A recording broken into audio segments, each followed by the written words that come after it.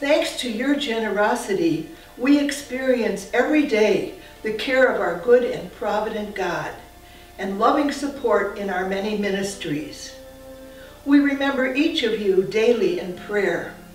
Thank you so much from this grateful group of Notre Dame Village sisters.